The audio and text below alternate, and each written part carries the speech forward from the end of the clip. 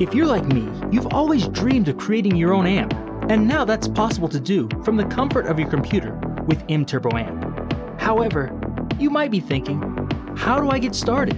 Just hit the edit button at the top and dive in. From here, we can look at the inside of the amps, and we can see how others have created their own unique amps. All of the amps are based on two basic things, EQ and clipping. How you use these will determine the sound of your amp. After entering MTurboAmp, the audio will first enter the input EQ. We can use this to tighten up the sound, remove frequencies we don't like, or even use this section to create tone controls.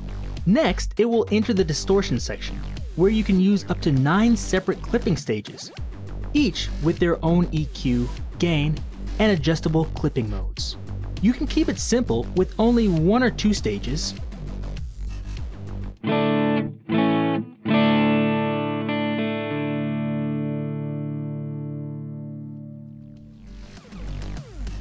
Or use many stages to create a high gain monster.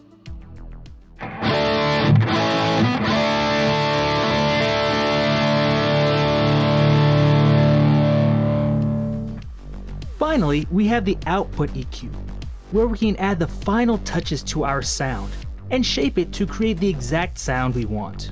Using all three stages together gives us virtually unlimited ways to shape our sound.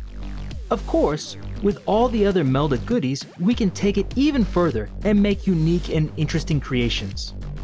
With MTurboAmp, the sky is the limit. But you don't have to take my word for it.